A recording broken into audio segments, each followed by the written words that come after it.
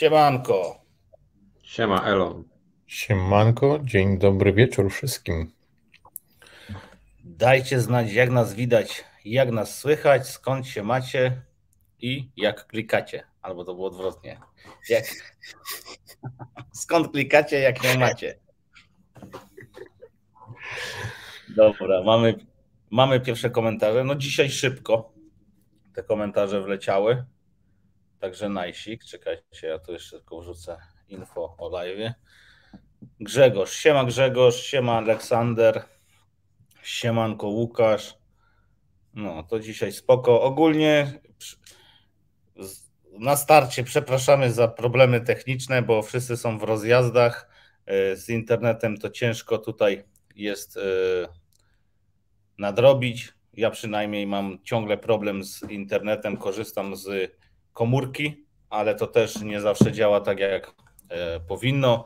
Michał też sobie zabrał internet z Norwegii we wiaderku, więc e, myślę, że mu wystarczy. Nie zabrałeś dzisiaj? Nie, właśnie zabrałem, ale w drodze już dostałem wiadomość, że zostało mi tylko 500 mega, także mam nadzieję, Aha. że niedługo zacznie się kolejny cykl. Mam nadzieję, że to będzie taki cykl bardziej pod hossę, gdzie będziemy wzrastać i że będzie wszystko ok. Dobra. Na wstępie jeszcze chciałem tylko bardzo mocno zaznaczyć, że wszystko, co mówimy na naszych e, audycjach, na naszych live'ach, informacjami, którymi się dzielimy, to nie są żadne porady inwestycyjne. Ja, Michał i Kuba, my nie jesteśmy doradcami inwestycyjnymi. Dzisiaj tylko rzucimy okiem na projekty związane z AI i związane z big data. My projektami tego typu interesujemy się ze względu, ponieważ jest szansa, że możemy na nich zarobić. Traktujemy to jednak bardzo z dystansem, ponieważ są to projekty, jak każde inne kryptowaluty, bardzo spekulacyjne i wiele osób o tym mówi, ale tak naprawdę nikt nie wie, co się wydarzy i czy to da zarobić, czy nie da zarobić. Tak jak tutaj z Michałem rozmawialiśmy na temat landów, które wymintowaliśmy, to my akurat prywatnie mamy takie podejście, że wolimy wydać na coś 10-15 dolarów i stracić te 15 dolarów i nie zarobić, niż stracić szansę zarobienia, ponieważ zazwyczaj jest tak, że przynajmniej ja mam większy ból tyłka, jeśli coś, czegoś nie kupię, a to wypali, tym bardziej, jeśli, na, jeśli na, się zastanawiałem, czy to kupić. A często tak miałem w przeszłości, że e, chodziłem wokół jakiegoś projektu, zastanawiałem się, chciałem sobie kupić, e, nie wrzuciłem nawet 5 dolarów e, po to, by, nie wiem, przynajmniej doświadczyć tego, spróbować, że mam to w portfelu i na przykład on wystrzelił. A jak wrzucałem siano, wiele razy było tak, że oczekiwałem właśnie, że to jest ten projekt, że będzie super, że to będzie rosło i, i, nie urósł. Także często rynek robi na odwrót e, tego, co my oczekujemy od niego, więc na to też po prostu uważajcie. I tak jak mówię, nie, jestem, nie jesteśmy doradcami, nie mamy zamiaru doradzać, to jest tylko i wyłącznie nasza opinia. Je, jeśli wy macie jakieś fajne informacje na temat tych projektów, które wam pokażemy, no to my też z chęcią o tym posłuchamy. Chcesz coś, Michał, dodać? Tak, pokazujemy to bardziej jako ciekawostkę, po to, żebyście się e, zainteresowali tymi projektami, bo no większość z nich miało jakieś tam swoje cykle wzrostowe, ale po części nie mają jeszcze takich konkretnych działających projektów, więc wydaje nam się, że e, prawdziwe, prawdziwe wzrosty mogą się tu jeszcze pojawić ale pokazujemy to jako ciekawostkę, ponieważ no, część z tych projektów my już mamy od dawna w swoich portfelach, część jeszcze się tam nie pojawiło. A Przeglądamy się też Tak, przyglądamy się, trochę wiecie Michał, przyglądamy się tym projektom i tak jak napisał Enrico, niekupione piecze dwa razy, Akurat e, to, to działa tak. U mnie wy sami też możecie dać znać w komentarzach, czy mieliście takie sytuacje, że chodziliście wokół jakiegoś projektu, w końcu zapomnieliście go kupić i po prostu no, nie udało wam się na tym zarobić. Jeszcze raz, Michał, jakbyś mógł dopowiedzieć to, co mówiłeś, bo akurat mi ciebie przerwało. jeśli chodzi o te NFT-ki, no to wiecie, no nigdy nie wiadomo, co tak naprawdę odpali i te NFT-ki, które pokazywaliśmy, ja teraz w sumie robię giveaway, także taka krypto reklama na tego giveawaya. E, chodzi o te zamki, te, te NFT-ki możliwe, że kiedyś odpalą, to jest projekt, który jest cały czas w budowie, Także no, tak samo jak właśnie Marek powiedział, ja wolę mieć takiego NFT-ka w portfelu, niż później mam patrzeć, jak na przykład ten NFT y, kosztuje tam kilka tysięcy dolarów, a ja go nie mam. Także wolę na przykład sprzedać później tego NFT-ka za 5 dolarów, mimo tego, że kupiłem go za 15 dolarów, ale e, chciałbym, chciałbym zobaczyć, mm, jak to powiedzieć. Chodzi mi o to, że wolę właśnie wydać i stracić, niż miałbym nie zarobić. Także no. Czyli masz podobnie jak po ja, masz większy ból tyłka, jeśli, jeśli, stra, jeśli odpuścisz i stracisz szansę na zarobek, niż stracisz jakieś tam drobne kwoty, które tak naprawdę my ciągle gdzieś ryzykujemy, wkładamy w różne rzeczy i, i to jest naturalnym czymś, co robimy na rynku, że próbujemy różnych rzeczy. Tak samo jeszcze nie chcę, wiecie, ja nie chcę też tutaj, żeby było to odebrane w ten sposób, że a to teraz będziemy kupować landy, y, bo wszystkie landy dadzą zarobić. Nie dadzą zarobić. Większość tych NFT-ków dla mnie jest cash grabem, jest czymś, gdzie oni chcą zebrać od nas pieniądze i pokazać nam środkowy palec. Jednak z historii mojej jest tak, że kupiliśmy kiedyś landy w sandboxie i pamiętam, kupowaliśmy to chyba po 50 parę dolarów, a sprzedawaliśmy to na hoście 2021 po kilkanaście tysięcy dolarów. I czy tak będzie z tymi landami? Ja nie mam zielonego pojęcia, ale wtedy też mi kolega powiedział, że Marek, kupilibyśmy sobie landy. Ja mówię, jakie landy, stary, 50 dolarów, przecież to kupa ściana, po co mi to? To jakiś tandetny NFT. I kupiliśmy trzy, tak? We dwóch kupiliśmy trzy, no i finalnie sprzedaliśmy to z wielokrotnym zyskiem. Co najśmieszniejsze, za takiego landa za 50 dolarów można było kupić sobie w, w realnym świecie działkę, bo ponieważ znam osoby, które sprzedawały te działki w świecie wirtualnym po 80, a nawet więcej tysięcy złotych za sztukę. Także dla mnie to też jest, puf, wiecie, o co tutaj w ogóle chodzi. Ja tych NFT-ków e, nie rozumiałem wtedy, e, chyba nikt z nas nie rozumiał tak jak dziś to rozumiemy i dziś do tego podchodzą ludzie, ponieważ dla mnie to ciągle jest coś nowego, coś takiego, że ja nie potrafię zrozumieć, co daje wartość tym NFT-kom. Już bardziej rozumiem, jaką wartość mają kryptowaluty i projekty. Wiem, że to są startupy, ale jeżeli chodzi o NFT-ki, no to tutaj kiedyś się na tym tak bardzo nie zastanawiałem. Teraz wiem, że w oparciu o NFT-ki można zbudować jakąś tam użyteczność, ale ciągle na przykład za mną chodzi też takie podejście i to e, młodzi będą wiedzieć, jeżeli chodzi o itemsy w grach. Też nigdy tego nie rozumiałem, jak można kupić jakiś pistolet, miecz, czy co to tam jest, za grube pieniądze w grze. I kiedyś to też już było. Od, od lat tym dzieci handlują e, w internecie i to też jest NFT. Tak bym to mógł do tego porównać. Czekajcie. No to, to nie jest takie prawilne NFT, którym można e, się wymieniać. No bo to nie jest zapisane na blockchainie. Ale no. Tak, ale wiele ludzi na przykład, które grało w Counter Strike'a i kupowało tam sobie jakieś skiny do, do broni, teraz te skiny są warte no, bardzo dużo pieniędzy. Problem jest w tym, że oni nie mogą tego sprzedać na jakimś konkretnym markecie. Muszą znajdować jakieś inne, inne drogi i chyba nawet handel tymi skinami jest zabroniony, także to też trzeba tam robić pod stołem.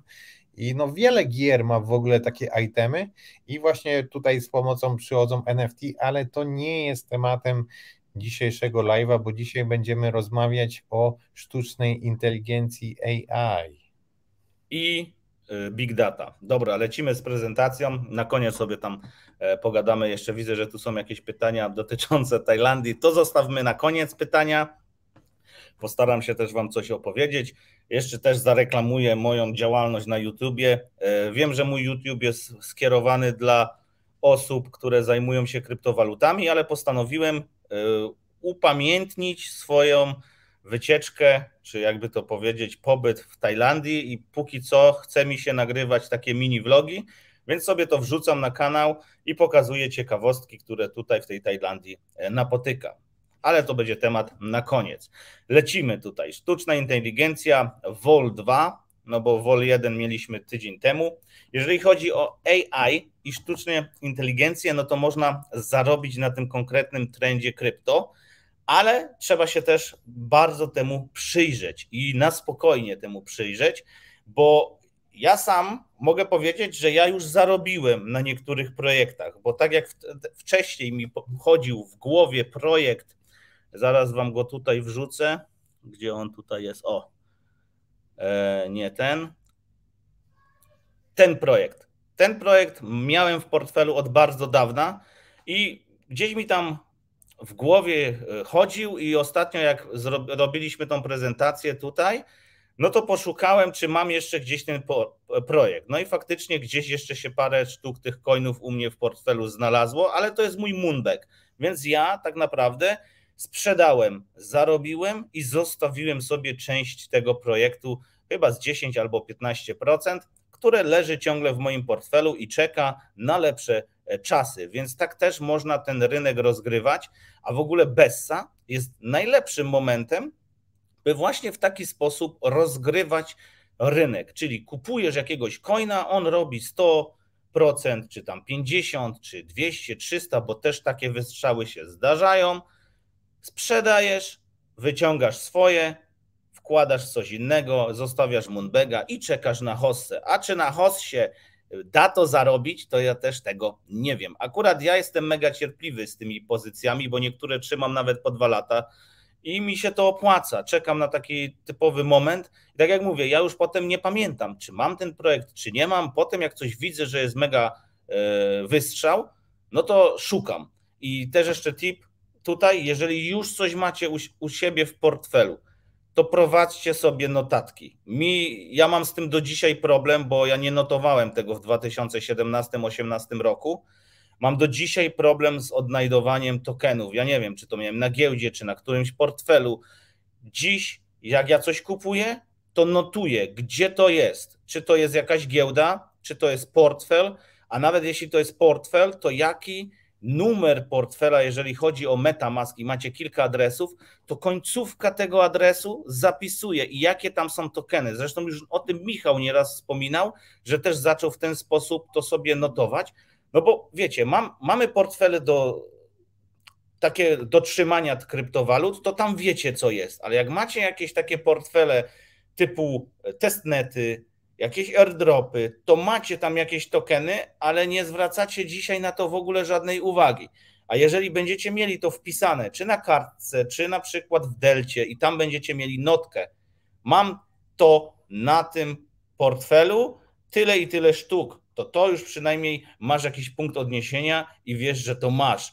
I ja na przykład e, miałem taką sytuację, że te stare, prawilne blockfolio, teraz już troszkę znienawidzone, bo to FTX, e, mi się wyresetowało ze dwa, trzy razy, bo tam były jakieś błędy, były problemy z przenoszeniem i to też gdzieś pogubiłem te informacje, że coś takiego w ogóle miałem, więc to też pilnujcie tego sobie na, na bieżąco.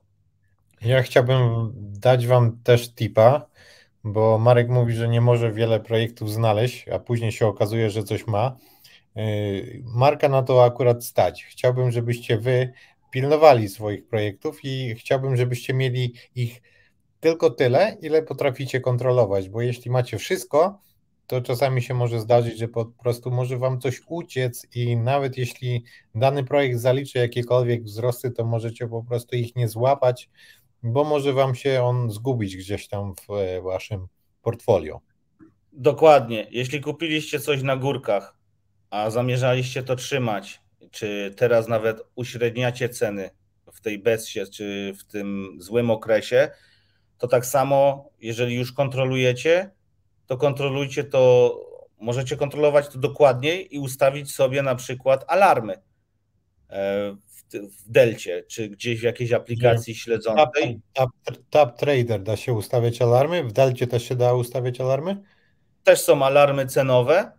Normalnie ustawiasz sobie target i można ustawić cenę, na przykład po której kupiłeś pierwszy raz i nawet nie musisz patrzeć na rynek, a jeżeli cena pójdzie do góry, to cię poinformuje ta aplikacja, że miało coś takiego miejsce i wtedy możesz na spokojnie właśnie zalogować się na portfel, przesłać te środki na giełdę i sprzedać. Ja tak akurat zrobiłem z Trust Walletem, z tym tokenem, bo miałem tam target, że w sumie miałem target ostatniej sprzedaży. Ja też często notuję sobie, e, teraz już przynajmniej, e, ceny sprzedaży tokenów, które sprzedawałem na ostatniej hossie.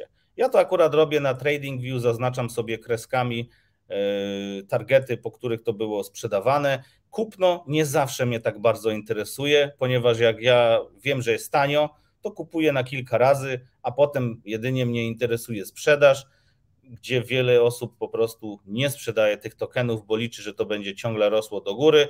Ja sobie wyznaczam targety sprzedaży i to jest bardzo ważne. Jeżeli wy też macie tokeny, które dzisiaj tutaj o tych będziemy tutaj mówić, to to, że sobie na przykład kupiliście kiedyś, czy zamierzacie dopiero kupić, no to wyznaczcie sobie jakieś sensowne poziomy sprzedaży. Ja wiem, że to jest ciężko wyznaczyć w oparciu o dane z powietrza, ale jeżeli chcesz zarobić na jakimś tokenie 50-100%, a jest to tutaj możliwe, to po prostu potem y, zrealizuj ten plan. Bo wiele razy jest tak, że ktoś mówi: Dobra, to ja zarobię sobie tutaj 1000% i to mi wystarczy. Zarabiasz 1000%, E, przychodzi do sprzedaży i ty tego nie sprzedasz, bo a to jeszcze urośnie. Ja też tak miałem wiele razy i przez taką chciwość nie udało mi się zarobić. Właśnie, e, bo e, zapomniałem dopowiedzieć, mówiłeś o tej strategii, że tutaj możemy sobie coś kupić i to urośnie tam 1000%, wyciągamy wkład, to tak bardzo fajnie brzmi, ale Mareczko, no w tym okresie, którym nazywamy Bessą, ciężko jest wybrać takiego coina, Aczkolwiek tutaj na tą grafikę, jeśli spojrzycie, to to są właśnie e, coiny z kategorii e, AI i Big Data, które w ostatnim okresie miały bardzo dobre wzrosty, niektóre zrobiły nawet po 40% w ciągu tygodnia, ale ten screen robiłem już e, później, więc na, w czasie pierwszej prezentacji te coiny dalej były wszystkie na zielono. A teraz już widzicie, że tutaj nawet po tych wykresach, które są takie lekko śmieszne, bo to jest taka linia tylko, wszystko już poleciało w dół. Więc jeśli ktoś e, trzymał te coiny, to po prostu realizował zyski i no teraz to chyba nie jest dobry moment na realizację zysków, a bardziej na zainteresowanie się projektami, które mogą mieć jakieś znaczenie w przyszłych e, latach, latach. I może zbudowanie jakichś fajnych pozycji, które będą mogły nam dać zarobić. Ja bym do tego dodał, bo e, dwie rzeczy właściwie, bo jedna jest taka, żeby ktoś nie pomylił, że to są coiny, które my polecamy, czy w, jakiś, co, w jakikolwiek sposób promujemy. Nie, to jest po prostu czysty screen wyjęty z CoinMarketCap, tak jak to leci. A też druga rzecz, jaką bym dodał, to odnośnie tego, co powiedzieliście na temat Bessy i tego, w jaki sposób nawigować sobą w Bessie i szukać tych okazji w Bessie. I tutaj moim zdaniem pomimo tego, że owszem, to jest trudny okres do tego, żeby zarobić to, co wspomniałeś, te 50 czy 100% i sobie wyjąć ten kapitał czy wkład, to jest to bardzo dobry okres na to, żeby szukać projektów, które są warte uwagi i tego, żeby w nie zainwestować na dłuższy czas. Bo ja, tak jak zawsze powtarzam wszędzie, jestem zwolennikiem osobiście długoterminowego inwestowania, więc tutaj się nastawiam na kilka lat przynajmniej, wychodząc z założenia, jeżeli już coś kupuję. E, natomiast okres Bessy jest o tyle dobry i ciekawy paradoksalnie, że tylko te projekty, które rzeczywiście są warte uwagi, dostają kapitał w okresie BESY i są w stanie się utrzymać. Więc po tym można ewentualnie szukać dla siebie jakichś rozwiązań i potem szukać rzeczy, które są interesujące nie tylko dla Ciebie, ale też dla potencjalnie większych inwestorów. Bo tak jak tutaj zobaczycie, e, jeden z podanych coinów, przykładowo, to będzie krypto, która sądzę, że w przyszłości może dużo namieszać.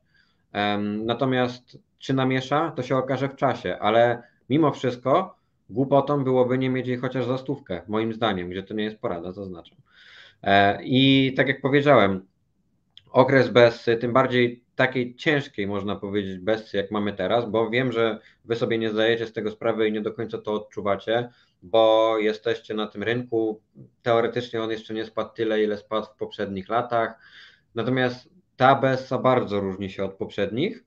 Jest mega ciężka, jest mega ciężka do nawigowania po niej i też nie wiadomo, w jaki sposób będzie wychodzony z tej BESy. Dlatego tak jak powiedziałem, nastawienie długoterminowe jest inna niż wszystkie i tym bardziej, skoro jest inna i jest cięższa, warto zwrócić uwagę na te projekty, które gdzieś fundamentalnie dobrze stoją.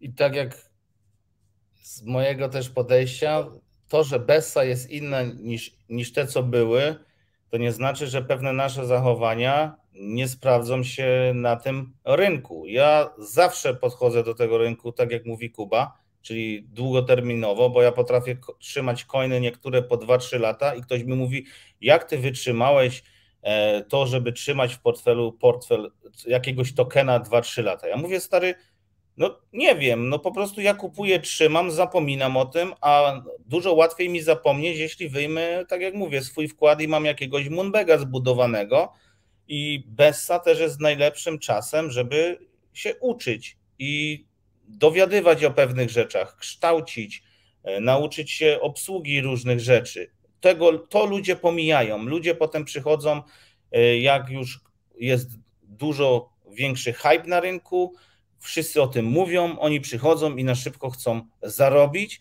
i też to się udaje wielu osobom, ale wiele osób traci po też prostu. się udaje, jeśli podstawowy problem brak wiedzy i obycia z tym rynkiem. A teraz no teraz to może być jeszcze trochę gorzej, jedynie, e, albo będzie już lepiej. I teraz macie zawsze dwa wyjścia z takiego rynku, i pomimo tego, że przed upadkiem FTX-a wydawało się nam, że już witamy się z gąską, że już pójdziemy do góry, że już będzie lepiej, bo e, też pakowaliśmy się w niektóre projekty, no to co? Rynek nas zaskoczył w całkiem drugą stronę. I teraz trzeba poczekać do momentu, gdzie znowu rynek nas zaskoczy, ale już w tą wyczekiwaną stronę pozytywną. I dla mnie to też jest tylko i wyłącznie kwestia dłuższego czasu.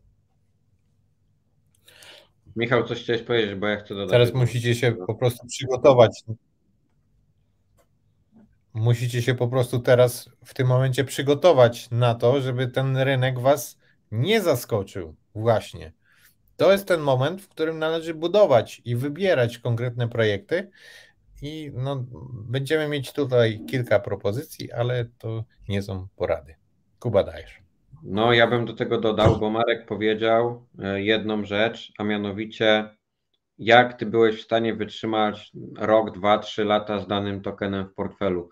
I to jest bardzo prosta rzecz, której ludzie się muszą nauczyć, a mianowicie nie przywiązywać emocji do pieniędzy, jakie inwestujecie. I tak naprawdę aż tyle i tylko tyle wystarczy, bo jeżeli zainwestujesz w coś i się od tego odetniesz i przestaniesz patrzeć, czy to już rosło, czy jeszcze nie, to wtedy jesteś w stanie wytrzymać te 2-3 lata bez problemu. I cię to po prostu nie interesuje, bo wiesz po co to kupiłeś i dlaczego. No, Powiem to nam Powiem to na moim przykładzie. E, kiedyś kupowaliśmy taki token LTO.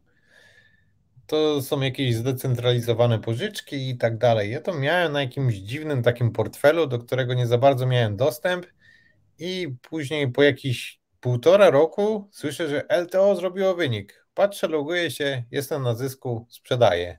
Sprzedałem e, tyle, żeby wyjąć wkład, wyjąłem sobie jeszcze trochę zysku, to chyba było ze dwa lata temu. I później, jakiś rok później, kolejny LTO zrobiło kolejny wynik.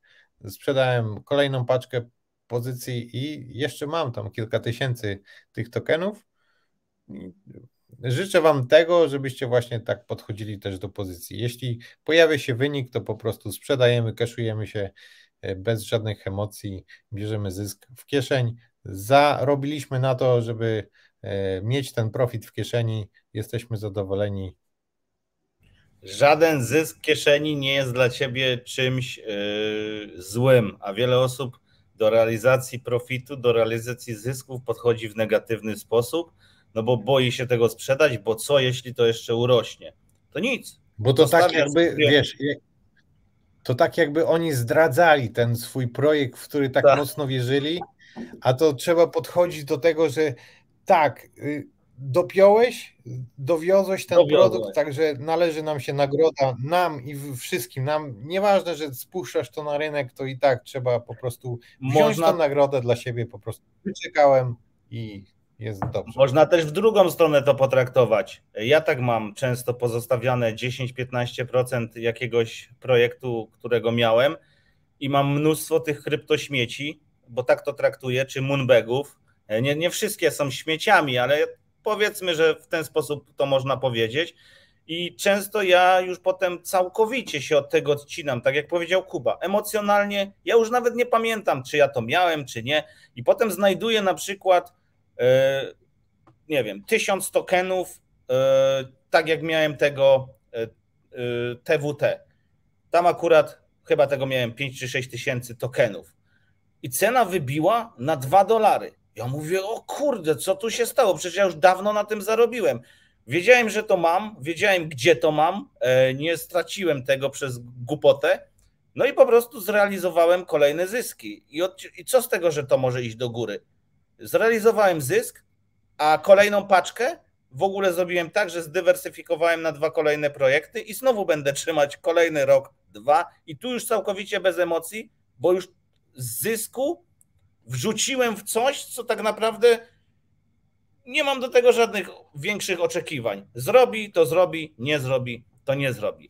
Dobra, Dobra. lećmy już z tymi projektami może Michał, bo Właśnie, super, super panowie, fajnie, że się chwalimy swoimi zyskami, ale wróćmy tak. do tej prezentacji, bo tutaj jest AI do omówienia, a nie realizacja zysków. BitTensor. Bit ostatnio ba... no, no mów. Lecisz. E, ostatnio, ostatnio bardzo głośny e, token, jeśli chodzi o krypto Twittera, y, też polskiego krypto Twittera, bo tam kilka osób zaczęło o tym pisać, omawiać ten projekt. No i jest to bardzo perspektywistyczny projekt, z tym, że jest utrudniony do niego dostęp. Co jest w sumie super fajne, bo nie każdemu się chce pogrzebać, żeby go w ogóle kupić. I wydaje mi się, że zanim ten token w ogóle będzie dostępny tak publicznie, to już tutaj będzie zrobiona robota.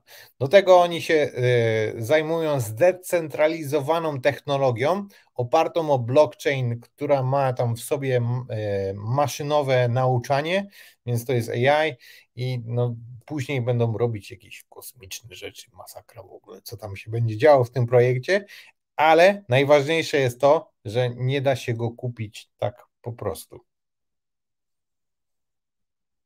Halo? Słychać cię, słychać. Słychać, słychać.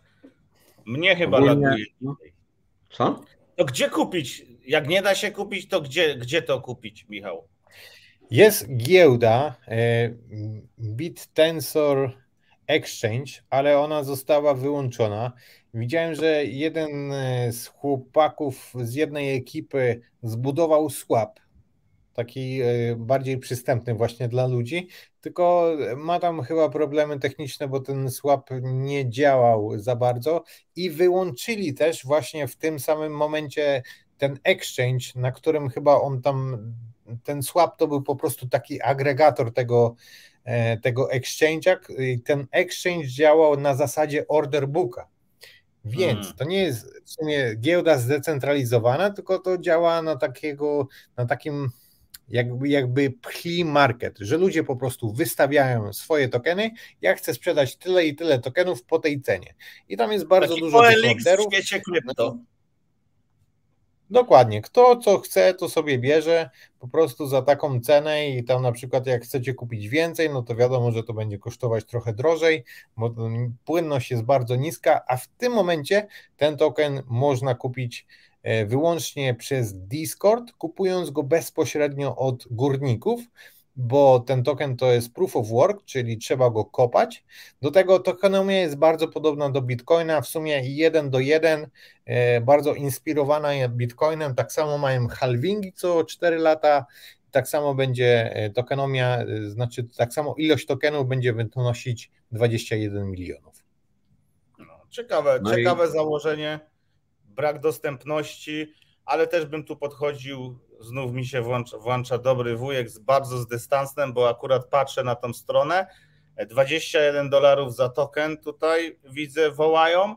E, ja bym bardzo z dystansem podchodził, bo tak jak mówię, często projekty są budowane właśnie na braku dostępności i różnych rzeczy. teraz, jeżeli będzie dużo większa dostępność, jeżeli więcej osób się do tego dorwie, to pamiętajcie, że cena może iść do góry ale te osoby, które wiedziały o tym wcześniej, napakowały torbę, będą chcieli to spuścić na rynek, więc prawdopodobnie cena może zlecieć w dół, ale w dłuższej perspektywie, bo dzisiaj o takiej tutaj będziemy rozmawiać, może ten token czy ten projekt, bo bardziej bym się tutaj skupił nie na samym tokenie, ale na tym, co on chce zrobić, może wnieść coś sensownego na rynek. I tutaj właśnie bardziej bym szedł w te fundamenty, aczkolwiek wiemy już z doświadczenia, że nie ma co się zakochiwać w projektach.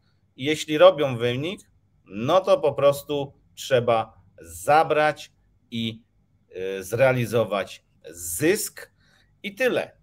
Na spokojnie trzeba do tego podejść. Ja akurat tego sensora nie mam jeszcze u mnie w portfelu, ja to tak tobie obserwuję, y, tak jak mówię, na spokojnie. No i ogólnie też e, jest kilka podobnych projektów, w sensie podobne rozwiązania mają, natomiast one nie wszystkie jeszcze e, w pełni działają, są w pełni funkcjonalne, a ten tego wyróżnia to, że on właściwie jest e, w dużej części i też jest wspierany przez trzy venture capitale różne, więc jest to, jak dobrze kojarzę, tam Polychain Capital, co tam jeszcze było, First Mark, coś takiego? Capital? Digital, tak, i Digital Currency Group. Tak, i jeszcze ten Digital. E, także tu też idzie do nich siano, więc warto zwrócić uwagę.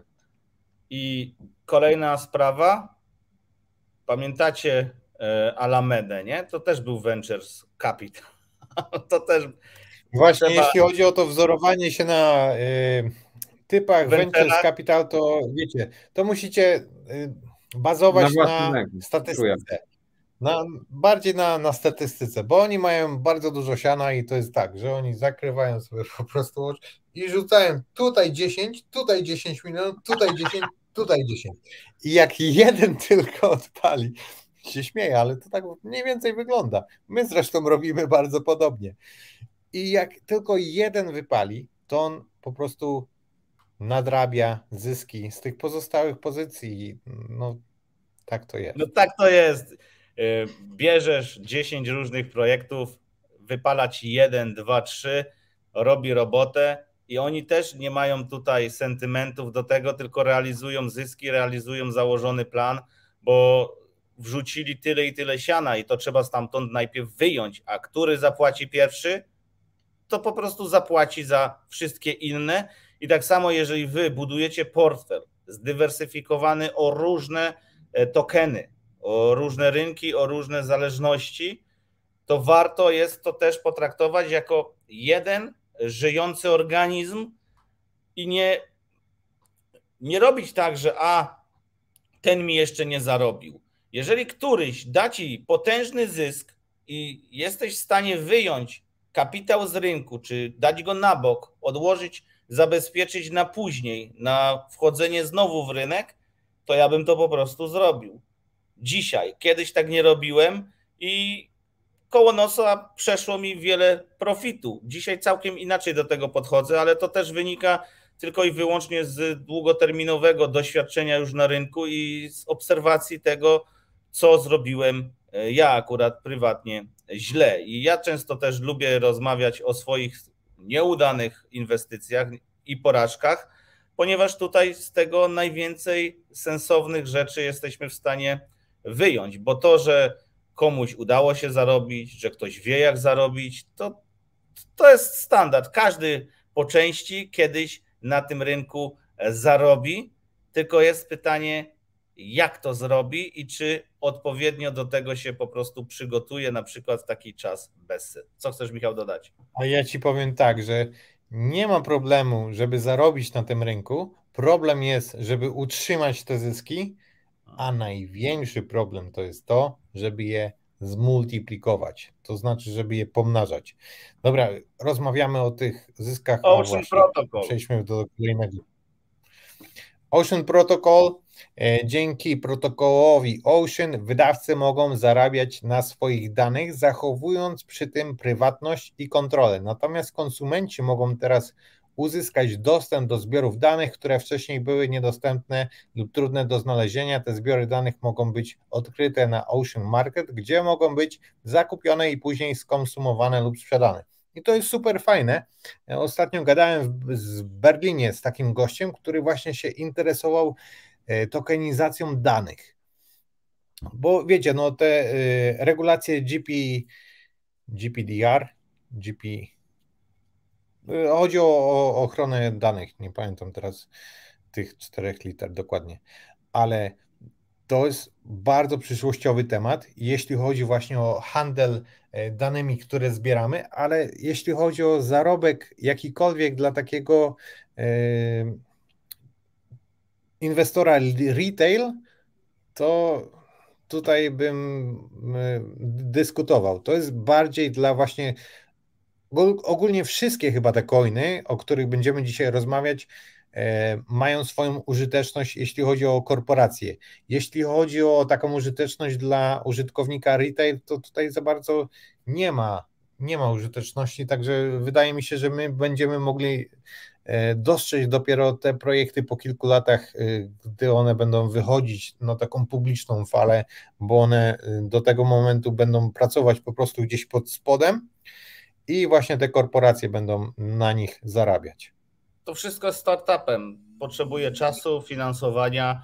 Czy, czy zrobią i dowiozą co chcą, e, tego nigdy nie wiemy. Czasami już, tak jak mówię, witamy się z gąską, coś wychodzi nie tak, wychodzą jakieś food, jakieś złe newsy i rynek leci na pysk i nic się tutaj pozytywnego nie dzieje. Ja tak patrzę na cenę tego Ocean Protocol, bo on już jakiś czas na rynku jest, no to na przykład dzisiaj cena i tak jest 10 razy wyższa niż w, gdzieś powiedzmy w 2019 roku. W 2020 e, ona tam rosła sobie do góry, no ale w 2021, czyli na Hossie, na tych szczytach, najwyższa cena tutaj mi CoinGecko pokazuje 1,82, a w tym momencie on kosztuje jakieś 15 centów, czyli jest 10 razy wyższa niż w 2019 roku, ale 10 razy niższa niż w 2021. Także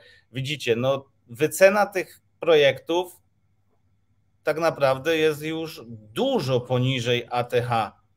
Czasami 90 parę procent. Pytanie, czy jest sens się tym zainteresować? Z mojej perspektywy jest sens się zainteresować, ale kiedy wchodzić, też nigdy nie wiadomo. I wiele osób też podchodzi do tego rynku w taki sposób, że no mamy bessę, mogłaby się już skończyć.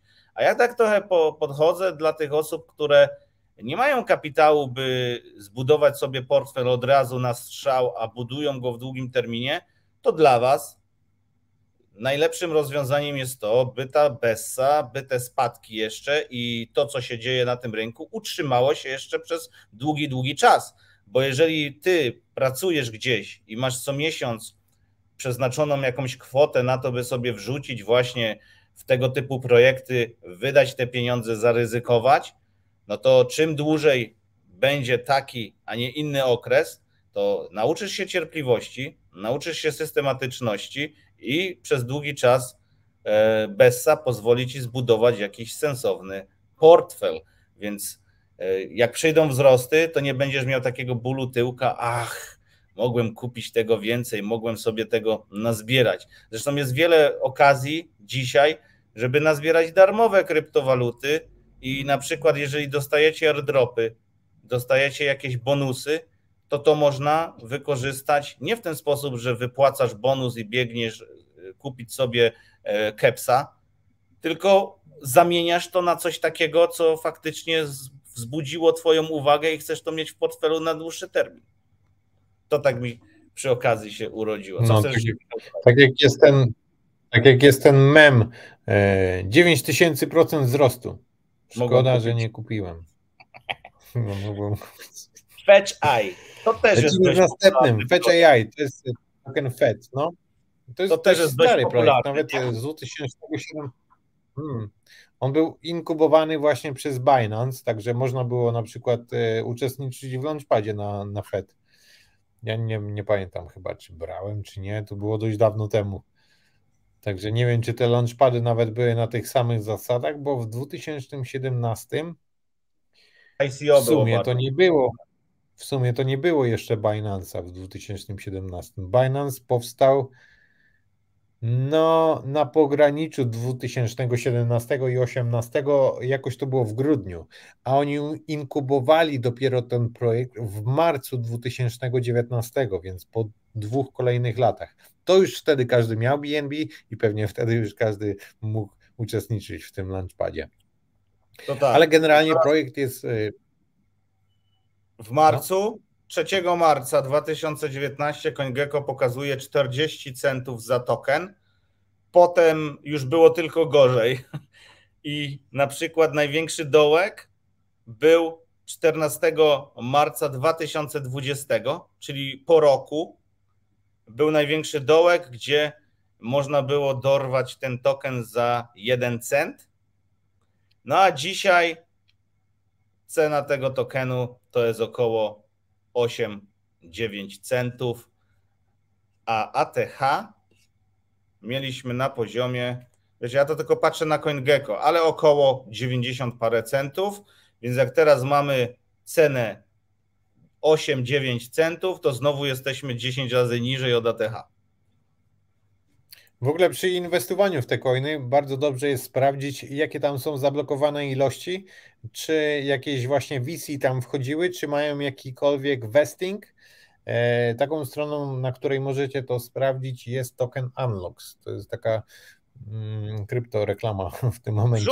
Ale token Unlocks robi, robi naprawdę dobrą robotę i jeśli interesuje Was jakiś token, którego tam na przykład nie ma, to możecie wysłać tam formularz z zapytaniem, czy Wam dodadzą ten token. Jeśli wyślecie tam e, dostarczająco dużo informacji, to nawet ten token potrafi być dodany kolejnego dnia.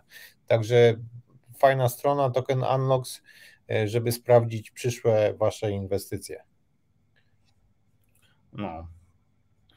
Możemy jeszcze coś tu dodać na temat no, tego no, fetch? A ja mówię, my nie chcemy.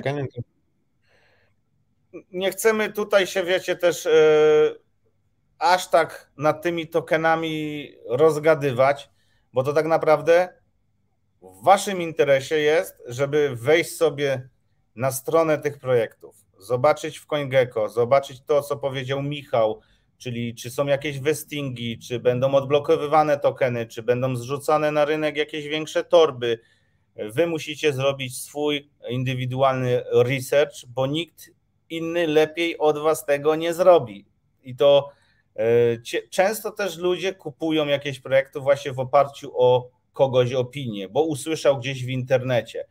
I okej, okay, no można w ten sposób do tego podejść, ale ja lubię dzisiaj wiedzieć, co pakuję do swojego portfela na długi termin, bo tak jak już Kuba wspomniał, jeżeli wiesz, co kupujesz i po co kupujesz, to z tym wytrzymasz. A jeżeli ty usłyszałeś, bo ktoś powiedział, bo, bo, bo gdzieś tobie tylko mignęło to przed oczami, to nie będzie w stanie wytrzymać e, aż do wyniku danego projektu i często zdarza się też tak, e, że masz ten projekt w portfelu, tam się nic nie dzieje, jest mega nuda i wychodzisz, sprzedajesz, przeskakujesz do czegoś innego, bo ktoś znowu gdzieś coś powiedział, pakujesz się tam i finalnie wychodzi na to, że ten twój, który miałeś wcześniej, zaczyna rosnąć, a tamten, który kupiłeś, spada i jesteś no, na minusie. Ogółem ja bym do tego dodał jedną rzecz, bo chciałem powiedzieć, że tak na dobrą sprawę to są dwie rzeczy, czyli lenistwo i wymów koza. Lenistwo pod tytułem mi się nie chce szukać informacji o tym, a wymów koza pod tytułem, że ja się na tym nie znam, więc nie wiem, czy te informacje, które znajdę, będą właściwe i potenc- z potencjałem na zysk. I tak na dobrą sprawę chciałem powiedzieć to drugie, ale tak pomyślałem, że w zasadzie można by to wykluczyć w ten sposób, że jakiegokolwiek researchu byśmy nie robili, to jeżeli szukamy informacji u jakichś innych osób trzecich, to często podlegamy ich wpływom, jeżeli chodzi o to, jaką decyzję podejmujemy. I jest to w pewien sposób zmanipulowane, owszem, padamy tutaj ofiarą tej manipulacji, jednak z drugiej też strony, korzystając z doświadczenia innych, jest łatwiej poruszać się w każdym obszarze. I tutaj, pomimo tego, że może Wam się nie chcieć, to przynajmniej i tak bym poświęcił czas, nie wiem, godzinę, półtorej na dany projekt, żeby cokolwiek się o nim dowiedzieć, czy cokolwiek ma w nim sens, Waszym zdaniem. Plus ewentualnie spojrzeć szerzej, e, tak jak bo tu e, widzę komentarze, że ktoś tam o czymś pisał, coś tam ktoś o tym mówił. E, wiecie, to też tak naprawdę innych osób jest tylko i wyłącznie prywatna opinia, podejście ja akurat oglądam kilka osób, których bardzo lubię oglądać i powiedzmy, że mi często ich research, ich obycie w rynku kryptowalut, podejście do tego rynku ułatwia zainteresowanie się danym projektem i pójście w to dalej.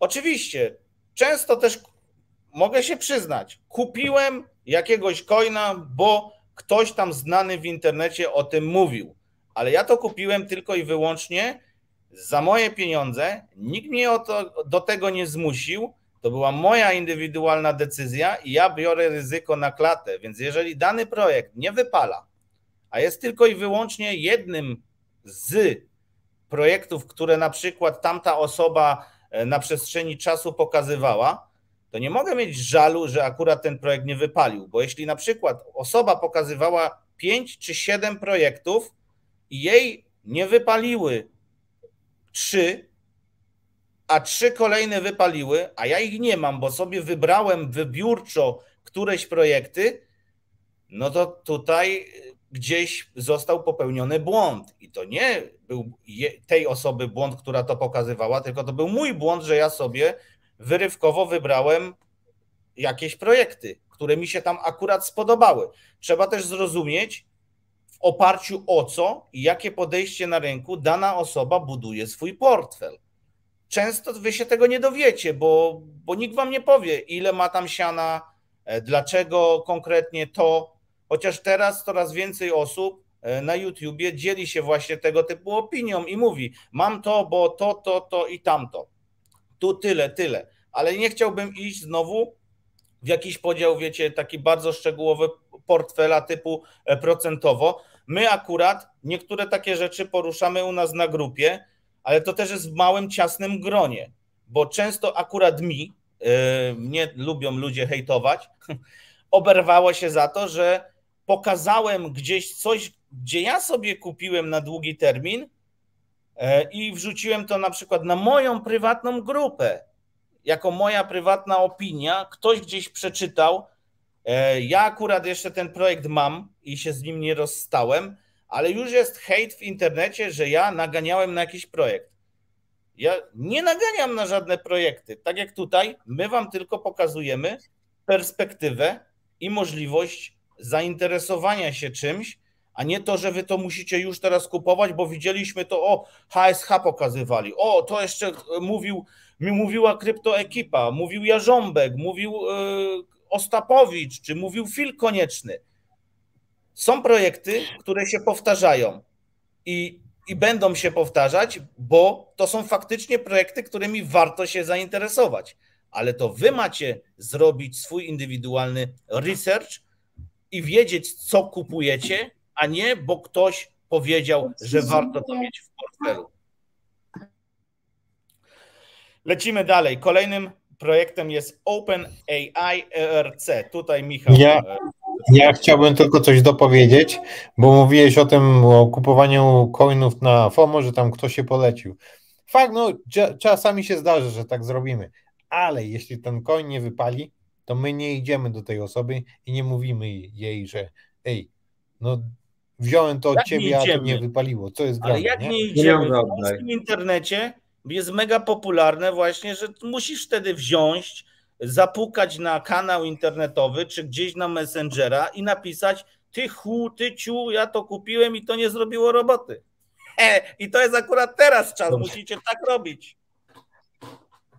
Dobra, to teraz jest moment na rozliczanie wszystkich, także jak ktoś wam dał coina, to musicie go i sprawdzić, ale na przyszłość, jeśli ktoś wam daje jakieś propozycje, no to fajnie, bo pewnie ta osoba zrobiła research i pewnie ta osoba się zna więcej niż wy, dlatego wy jej ufacie, dlatego wy to kupiliście, ale tutaj pojawiają się emocje. Tak jak Marek mówił, wiecie, jeden coin idzie do góry, ten was stoi i wtedy co wy robicie? Jeśli nie znacie właśnie tego coina, jeśli ten coin to jest jakaś propozycja od kogoś innego, a wy nie jesteście jej do końca pewni, zaczynacie mieć wątpliwości i zaczynacie robić właśnie takie nie za bardzo ciekawe ruchy. No. Tylko pamiętajcie, jak już będziecie hejtować jednostki za coiny, to nie zapomnijcie jeszcze Michała Lewicza zhejtować za testnety, które nic nie dały. Niektóre. Albo za to, że ma za, za, długie intro na przykład. Za długie albo intro. Mnie, albo mnie, że I ja. za nagrywam... to, że tych testnetowych tokenów nie da się wypłacić na Binance. Bo to jest w ogóle porażka. Jak Marek można mieć testnetowe tokeny? Hmm. Albo ja dlatego, że. Ze 40 Ethereum na Gorli wysyłałem to na Binance i to nie doszło, no. Mi też ostatnio ktoś napisał, Marek, ja włączyłem sobie kopanie, kopanie tego Ethereum tam na tym e, kraniku, ale da się to wypłacić, bo ja mam to, to, to, to drogie to jest, nie? Ja mówię, stary, to są zabawkowe tokeny.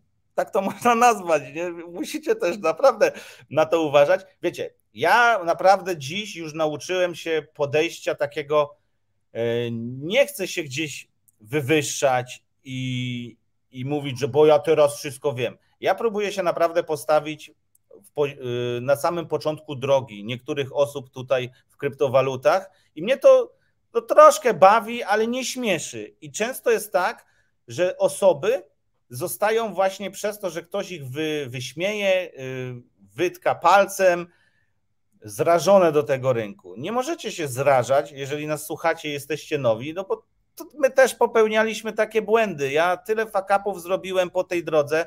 E, wysłałem tokeny, co najlepsze, wysłałem tokeny, które miały wartość w różne dziwne miejsca. Pogubiłem, bo, bo gdzieś seedy źle wpisałem, ogolili mi portfel.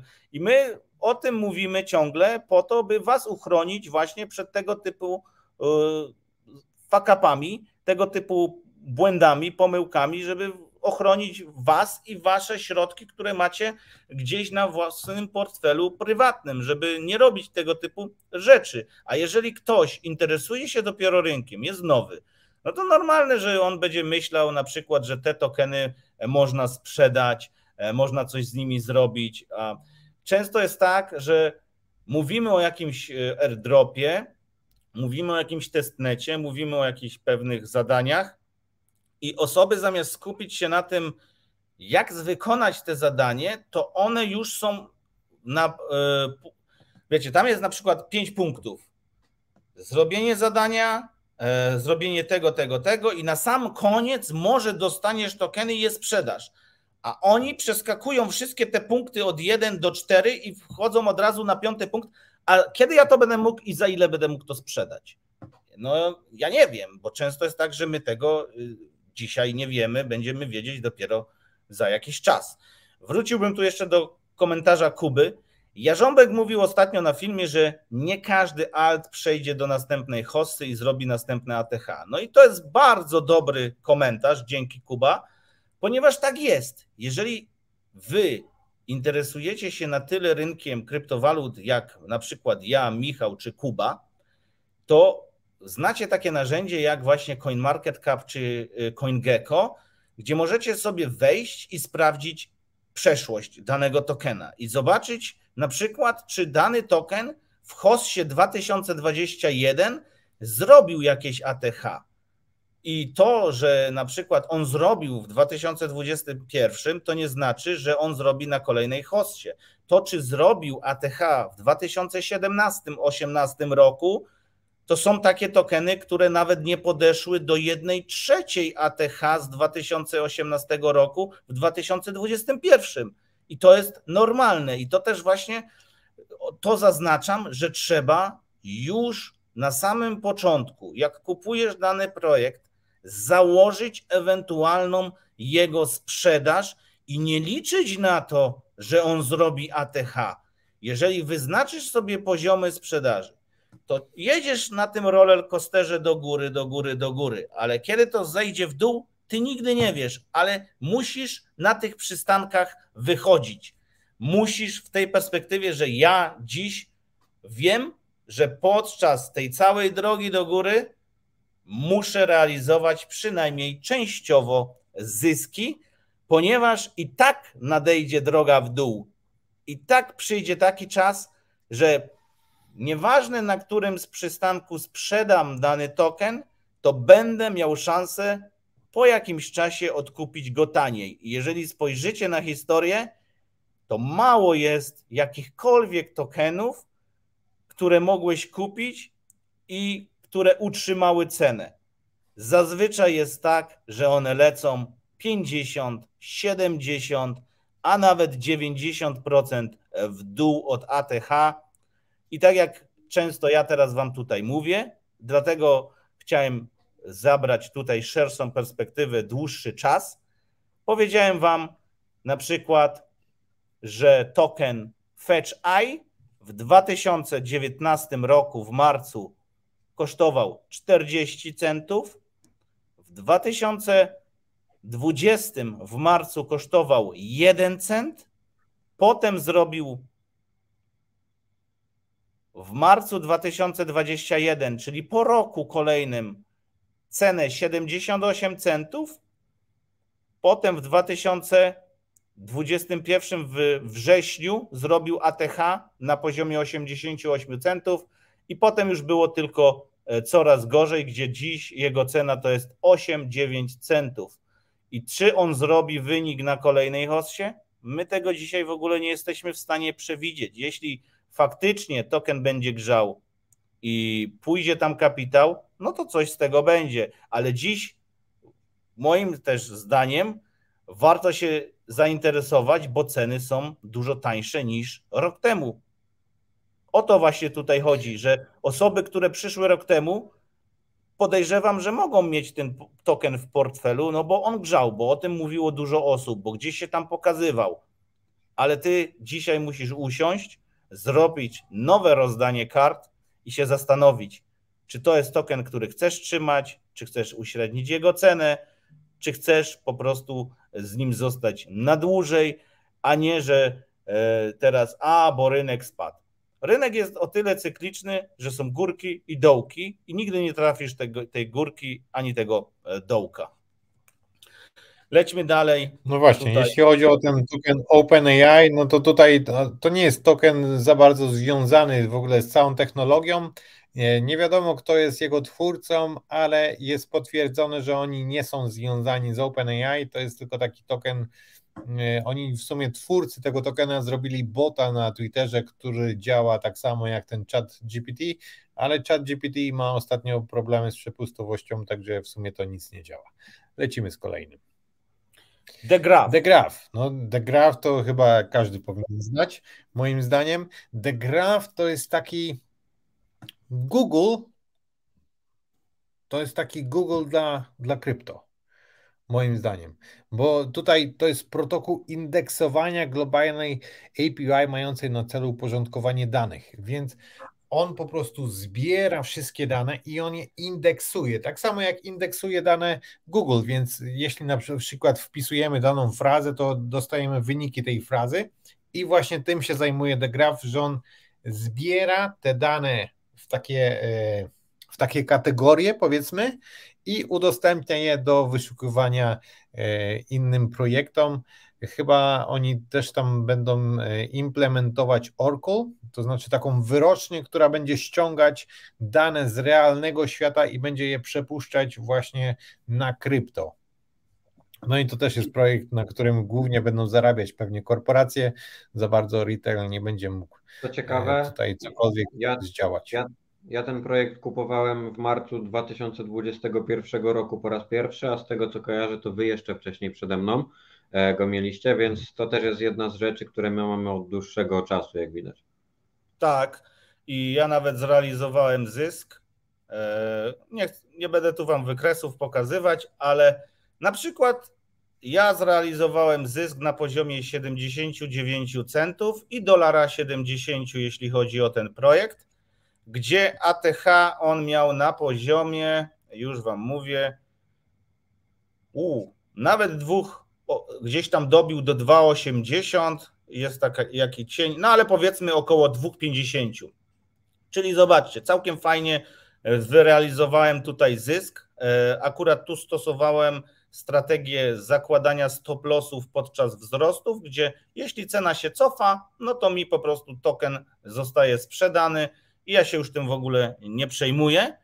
CoinGecko też pokazuje, tak jak tu mówił Kuba, jak on kupował w marcu 2021 roku, no to to już też jakiś czas temu, ale CoinGecko tu pokazuje e, grudzień 2020 12 centów, e, luty 2021 2,28. No i teraz. nie? Tak. I teraz w 2022 tutaj no nic się już nie zadziało, potem już było tylko gorzej, cena spadała, ale na przykład listopad 2021 roku to jest taki punkt, gdzie w ostatnim czasie był, była cena najwyżej. Dolar 21 w listopadzie 2021.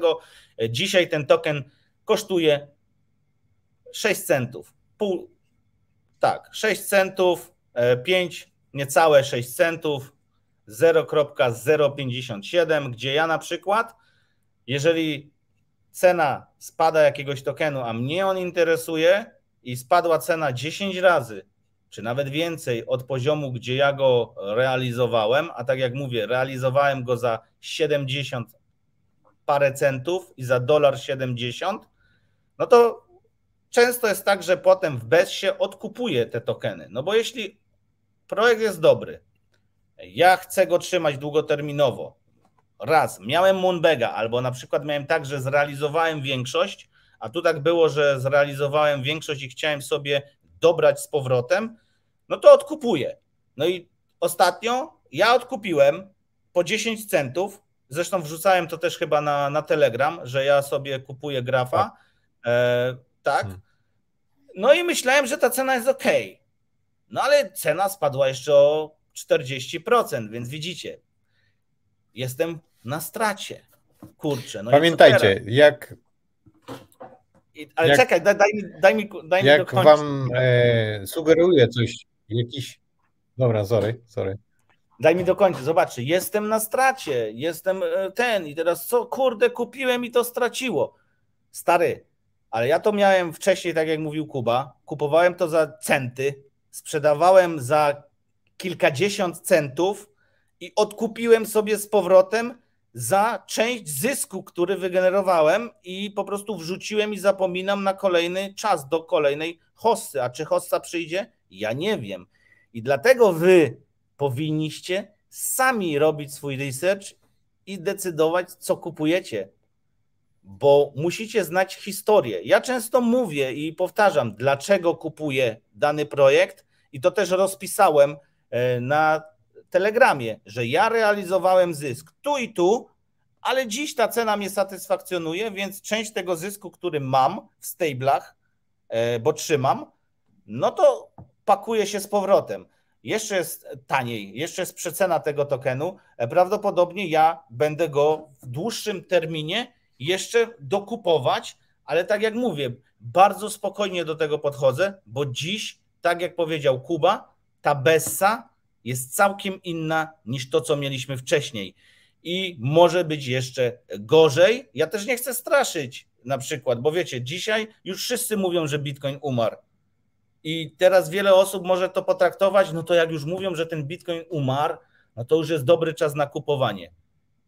Nie próbuj łapać całkowicie dołka i nie próbuj nigdy łapać całkowicie górki, żeby sprzedawać. miej swój plan i idź według tego planu. Jeżeli nie wiesz, jak taki plan zbudować, no to u nas na Discordzie znajdziesz strategie działania. One są na ogólnodostępnym kanale. Wchodzisz na Discorda, czytasz, patrzysz, co zbudowały osoby w oparciu o swoją wiedzę i doświadczenia i próbujesz to dopasować indywidualnie do siebie. I tyle.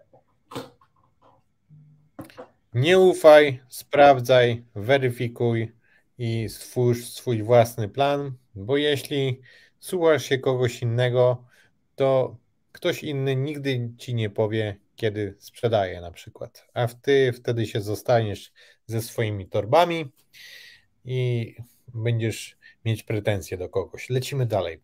Prosimy kolejny slajd. O, to jest Singularity. Token, o, tutaj Mareczko, tutaj jesteś. Tak, to jest token, który ja miałem w portfelu, e, zarobiłem, zostawiłem, nawet znalazłem, że jeszcze tam trochę mam i nawet ten Moonbag nie jest taki mały, także ja sobie to zostawiam, bo zobaczymy, co będzie tutaj na kolejną hossę. Ogólnie to jest zdecentralizowane AI. To jest w ogóle już taki projekt, że no mi to kiedyś rozwaliło mózg, dlatego jak poczytałem trochę więcej na ten temat, to postanowiłem to kupić. No i on zrobił cenę, y, dał zarobić i, i tyle. I ja to tak zostawiłem. A to, czy oni będą się dalej rozwijać, no to tu już czas pokaże. Ogólnie za tym projektem stoją dość sensowne osoby, ale to musicie poczytać e, sami. Z tego co wiem, to nawet e, mam taką notkę tutaj.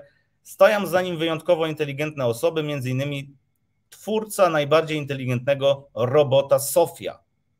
I to są rzeczy, które mogą grzać, tak? Ludzie mówią, wow, wow, co to to będzie. Ale tak naprawdę ja też do końca tym wszystkim deweloperom nie ufam, bo najbardziej jest to tutaj ważne, żeby widzieć, że oni pracują, że oni coś robią.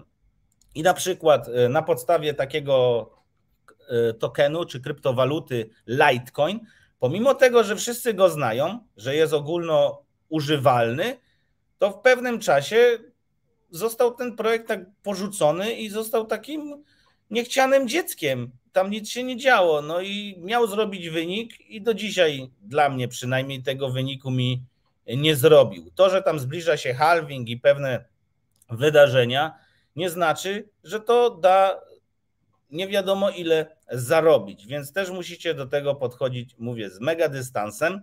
Projekt jest ciekawy z mojej perspektywy. E, ja się z nim całkowicie nie rozstałem, zostawiłem sobie tam parę sztuk więc zobaczymy, co tutaj będzie w dłuższym czasie.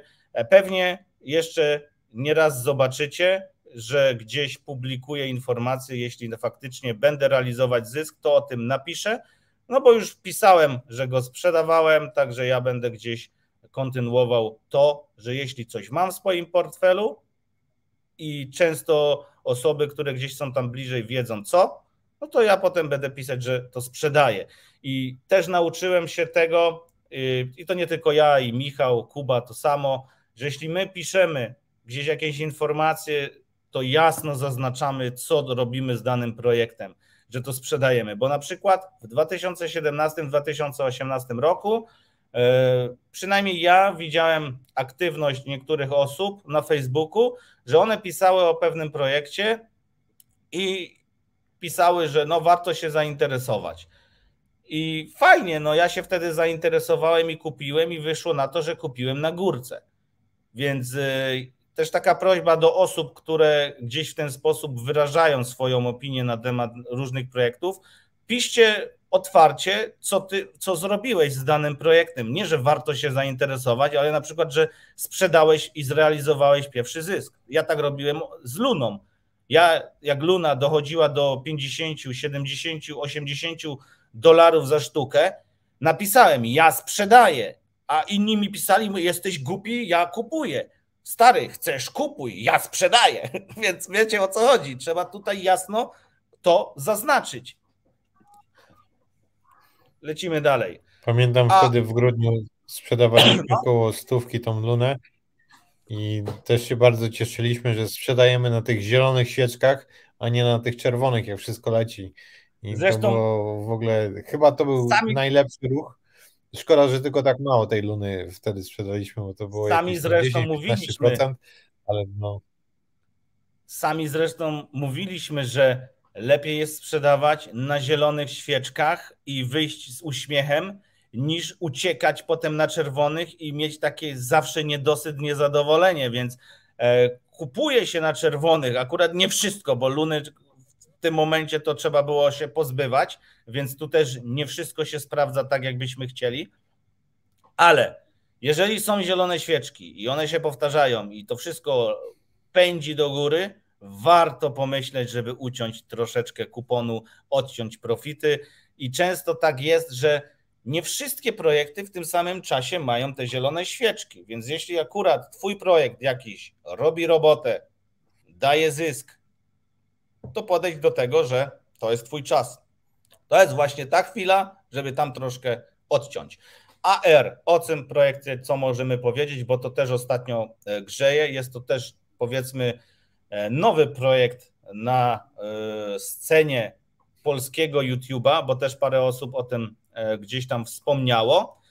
Ja też się tym projektem zainteresowałem z uwagi na to, że akurat w Berlinie ktoś mi o nim powiedział, więc warto jeździć na tego typu spotkania i rozmawiać z ludźmi.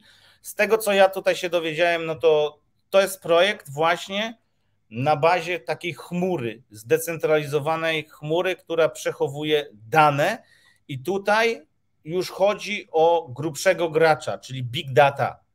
I nie wiem, na ile to są potwierdzone informacje, ale na przykład gdzieś tam chodzą takie słuchy, że Facebook czy Instagram e, mają współpracować na przykład z Arwar po to, by e, przechowywać tam dane użytkowników w decentralizowanej sieci. Mi akurat e, to, że oni tak mówią, e, czy nawet jeśli podpisali jakieś umowy, no to jeśli to jest sieć zdecentralizowana i jest taka sieć, że wiecie, w blockchainie nic nie ginie, nie da się tego usunąć, nie da się tego skasować, to ja do końca nie rozumiem, jak tam e, firmy, które mają nasze dane poufne, mogłyby przechowywać nasze dane. Jeśli w pewnym momencie coś mogłoby się wydarzyć złego, ktoś by mógł dostać na przykład jakiś e, niepożądany dostęp i wgląd do tych danych. Ja wiem, że wyciekają dane z różnych baz danych i tego typu rzeczy,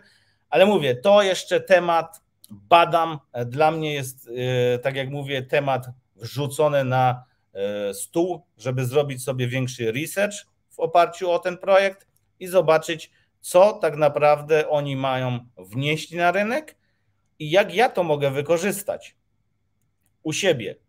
Czy jak to może wykorzystać jakaś firma e, gigant. Chcecie coś tutaj dodać do tego? No oni tutaj pod tym kątem mają ten produkt, z tego co wiem, chyba gotowy prawie, że albo, albo w pełni gotowy, nie wiem, nie kojarzę za bardzo. E, w każdym razie jest i chodzi w nim właśnie o to, żeby przechowywać te dane tak na dobrą sprawę na wieczność, permanentnie, nie? Bo w internecie owszem, podajemy te dane, ale różne rzeczy w internecie giną, czy to przez jakichś hakerów, czy to przez usunięcie, czy to przez wygaśnięcie, czy to przez jakieś popsute linki, czy coś. No a tutaj chodzi o to, żeby te dane nie ginęły mimo wszystko. No właśnie. I ja pomimo tego, że tutaj może być wielkie FOMO, no bo Facebook, bo Instagram, to nie do końca na przykład yy, ja chciałbym, żeby niektóre moje dane, które udostępniam gdzieś w internecie czy firmom prywatnym, chciałbym, żeby były forever przechowywane. Bo często jak my na przykład się weryfikujemy, to tam jest notka, że firma, która nas weryfikuje, przechowuje te dane na przykład przez 30 dni albo tam ileś, y, jakiś okres czasu i potem one są wymazywane. My też tego nie do końca to nie jest powiedziane, że to będzie dotyczyć wszystkich na takich samych warunkach. Także nie popadaj tutaj w skrajność, bo możemy tak, wiesz, gdybać o różnych rzeczach, ale myślę, że nie ma sensu w tym wypadku jeszcze. No i też token jest Twoje dostępny. dane akurat będziemy trzymać, bo ty masz y, tam dobry kredyt, score, także później ktoś sobie weźmie jakiś kredycik później na ciebie. To też tak może być. To- Token jest dostępny na Binance, nie? To, to ogólnie też jest e, giełda i a, jeszcze to tak już na koniec, to już chyba jest nasz ostatni slajd, dokładnie. E, Na koniec chciałbym dodać, e, że dzisiaj dla mnie wyznacznikiem, tak jak kiedyś było to, że coś wchodzi na Binance, coś wchodzi na większą giełdę, to zrobi robotę, to dziś ja całkowicie odcinam. Jeżeli kupisz ten token gdzieś na jakiejś giełdzie, widzę, że mnie będzie rwać. E, chwilę poczekamy. Czekajcie. No, ry- rwiecie trochę. No, już widzę, bo tu akurat mam informację. Powtórz, co mówisz. Dobra, dokończ tylko i już będziemy kończyć, nie? No. Czekajcie, aż się tylko łącze ustabilizuje. Nie, no już cię dobrze słychać, normalnie. O. Chodzi o to, że jak token wchodzi na Binance, to już jest za późno, żeby na niego, w niego inwestować. część, Tak? Po- Nie, to nie do końca mi o to chodzi, ale wiecie, jeżeli ktoś kupuje na niszowych giełdach jakieś tokeny i one dopiero później wchodzą na Binance, to zawsze było tak, że o, to zrobi robotę. I zazwyczaj tak się zdarza.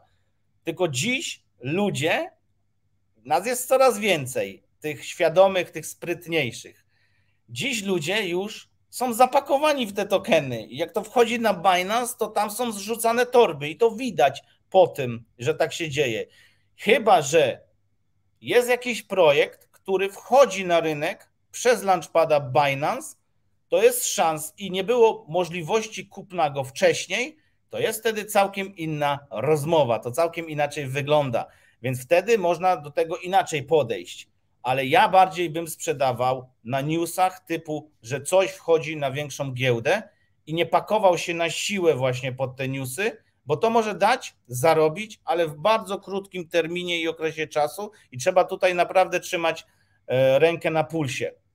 Więc tak jak mówię, duże giełdy dla mnie dzisiaj e, została Binance tylko, taka większa giełda, którą ja znam i znają wszyscy. Zresztą teraz jest mega food na tą giełdę, żeby wypłacać środki, e, bo tam się źle dzieje, bo FTX, bo ona upadnie.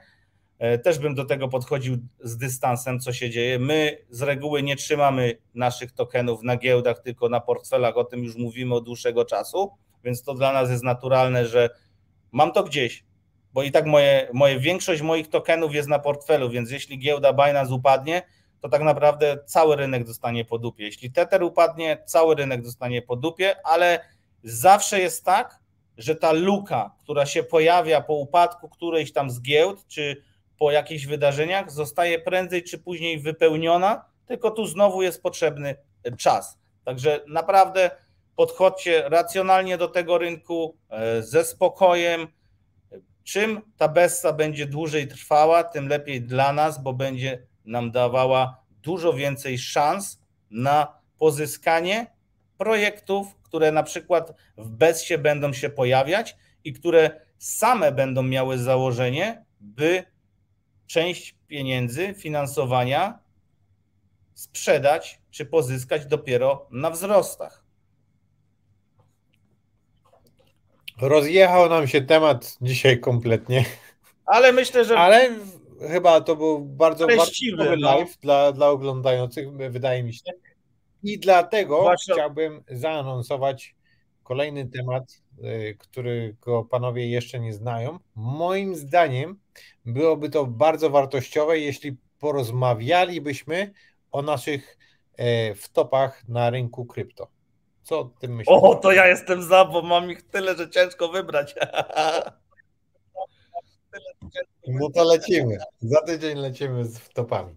Za tydzień live do pierwszej w nocy, także Zobaczmy jeszcze komentarze. E, A, na koniec, bo widzę, dużo jest komentarzy o moje zdjęcia na Facebooku, gdzie Tak dałem mnie zdjęcie. rwie. Rwie? Ale to Michała. No, mówię, dużo jest komentarzy na temat zdjęć, które dodałem na fejsie, że tam wrzuciłem kota i jedzenie obok. E, nie, to nie był kot. E, że, że tego kota zjadłem, to nie o to tutaj chodziło, choć odebrało to parę osób. Ogólnie, jeżeli e, ktoś mówi o Azji, to część osób podchodzi do tego, że tam się je jakieś dziwne rzeczy. Faktycznie tutaj są jakieś robaki, zresztą też rzucałem, jeżeli ktoś patrzy na moje nagrywki, czy na story, czy na e, YouTubie, to widział tego typu jedzenie.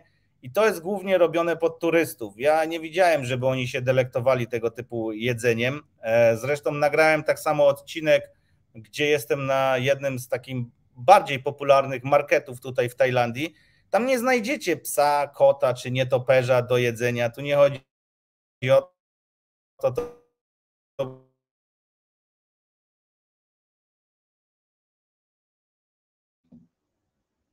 zobaczyli z ciekawości. No, Marek. No.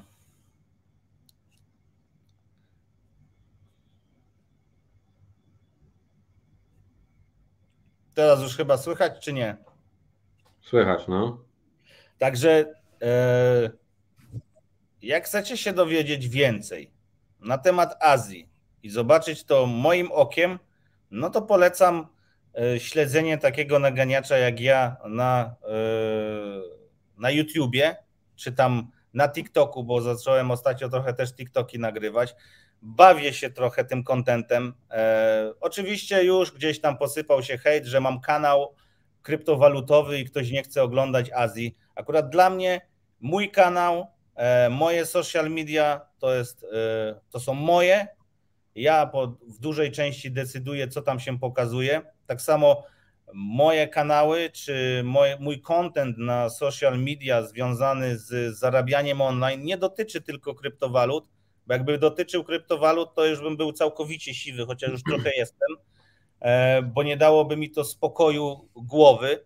Dlatego my z chłopakami już od dłuższego czasu zaczęliśmy dość mocno dywersyfikować i to już powtarzamy nieraz, że kryptowaluty powinny być trampoliną do innych rzeczy i przede wszystkim do spełniania też i realizowania waszych marzeń. Moim marzeniem było zawsze to, by pojechać sobie gdzieś, pomieszkać, pożyć i zobaczyć, jak tam ludzie żyją. Wybrałem do tego Tajlandię. Żyłem przez 12 lat w, e, w Skandynawii. Miałem okazję zwiedzić Chorwację, dojechać aż do Albanii. Dzisiaj jestem w Tajlandii. Nie wiem na jak długo tutaj jestem, minimum na 3 miesiące, chyba że znowu ze coś połamie. Akurat ja na trzecim dniu tutaj czy drugim wizyty to złamałem sobie palec u nogi. E, dziś zastanawiałem się, czy e, mieć koszulkę, czy mieć tą koszulkę, która się tutaj mi pojawiła e, ze słońca na tym live.